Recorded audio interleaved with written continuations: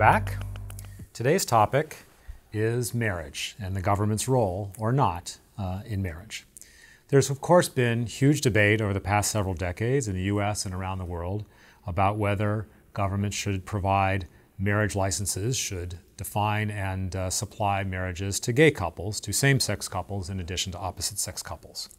There have been huge changes recently in the United States incredible victory at the Supreme Court for libertarians and uh, everybody who loves liberty um, in favor of legalizing gay marriage throughout the country. This comes on top of lots of victories at the state level that uh, legalize marriage at those levels. Now it's the law of the land in the United States. The debate might not be entirely over. There certainly are people who are pushing back, but it seems that it's close to uh, an outright libertarian victory. So, nevertheless, it's important to talk about this topic for one, libertarians don't have that many such huge victories, so it's nice to talk about one of the ones we do have.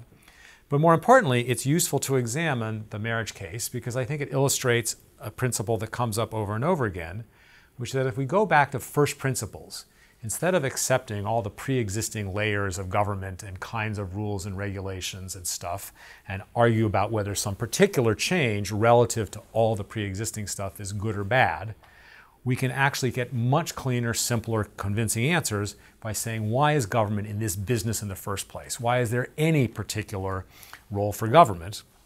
If there's not, if even the prior layers are misguided, then the whole analysis gets much simpler.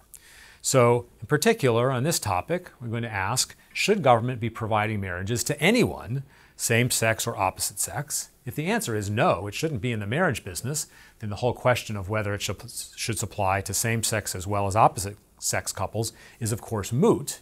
If you come to the conclusion that there's a role for government in pro- providing marriage, then you be, should be able to say why. What are the arguments? Why does that promote something that's good? And if it does, then why does it apply only to opposite sex couples? Why doesn't it apply in equal force to couples of whatever sort of possible uh, configuration?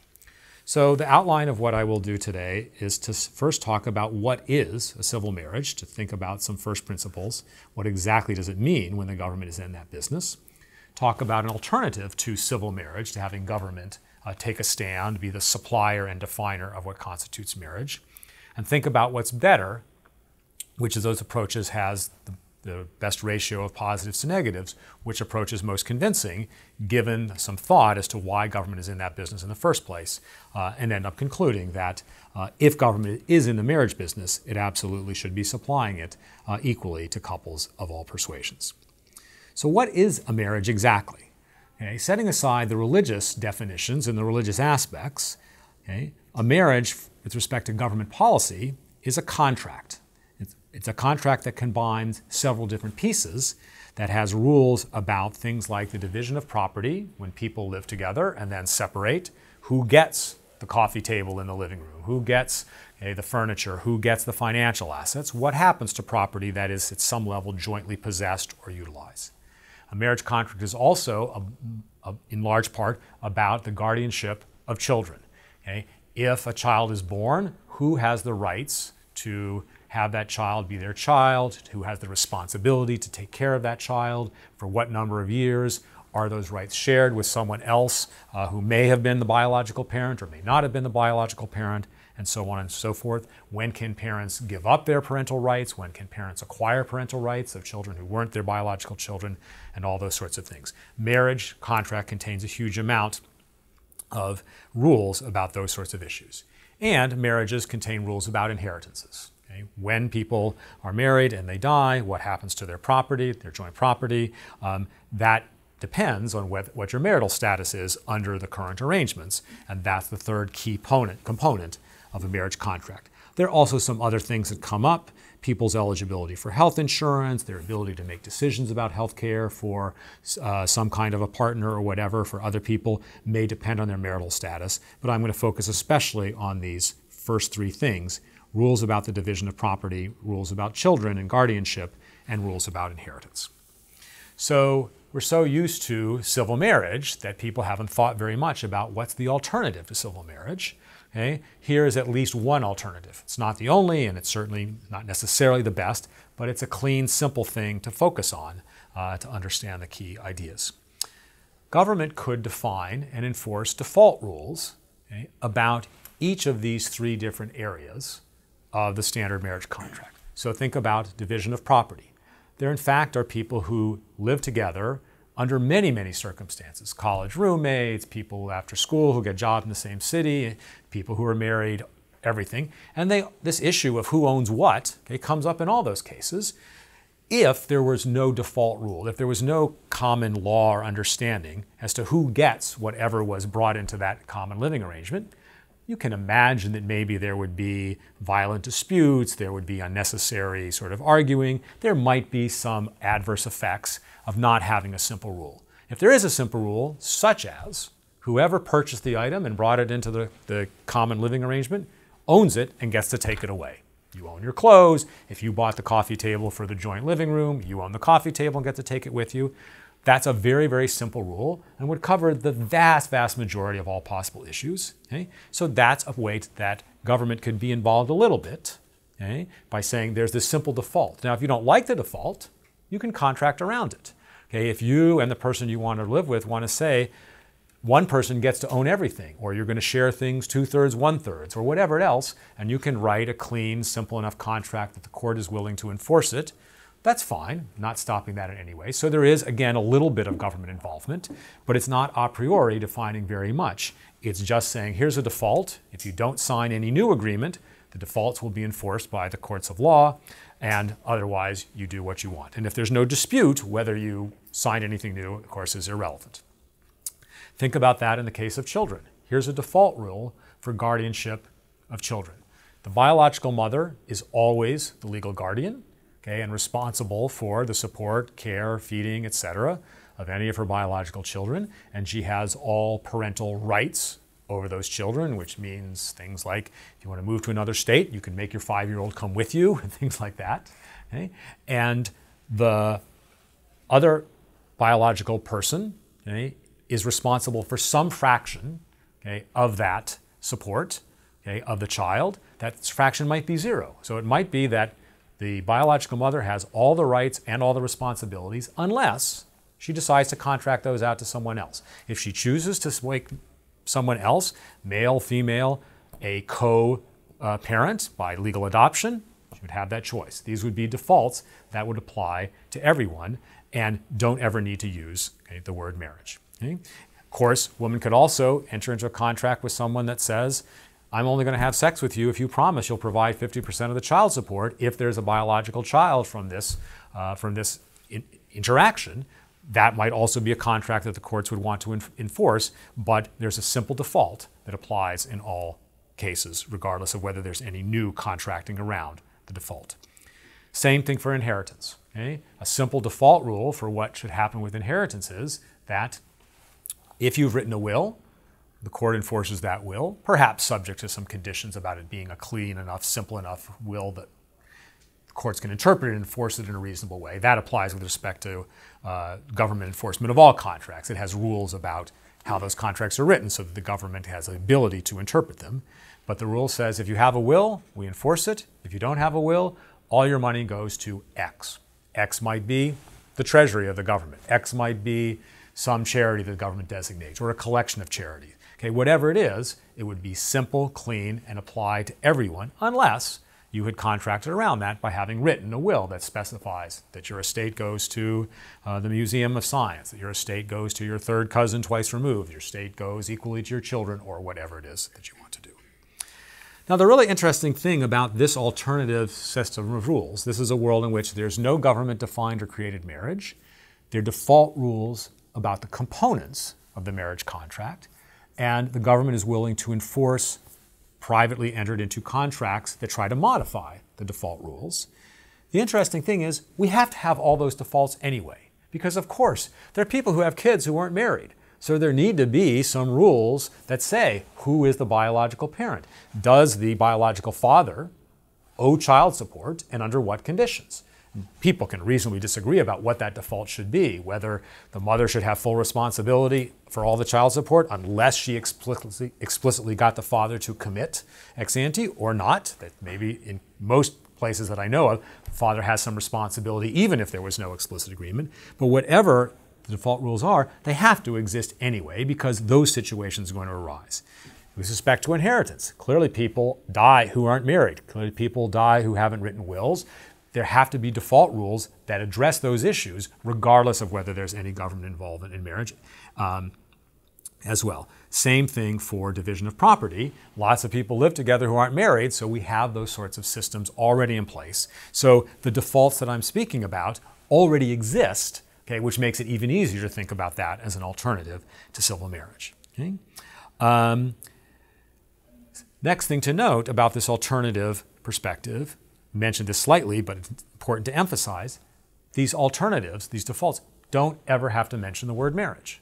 There's nothing essential about that. All these rules can be written in a way that apply whether the person is single or not, whether the person is male, female, gay, they're just completely independent of all that. So there's no need for the government ever to define the word marriage or use it in coordination with defining these defaults. As I've mentioned, private contracts can get around the defaults if people want them to. And finally, setting up these defaults, taking this alternative no government marriage approach, in no way, shape, or form prevents people from engaging in religious marriages of whatever kind. If you want to be married by the Catholic Church, uh, under Jewish law, under Muslim law, under the laws of the Libertarian Party, or whatever it might be, of course you're still free to do so, but those religious or whatever kind of marriages would have no legal implication. The only legal rulings would be those default rules and the contracting around of those, defaults.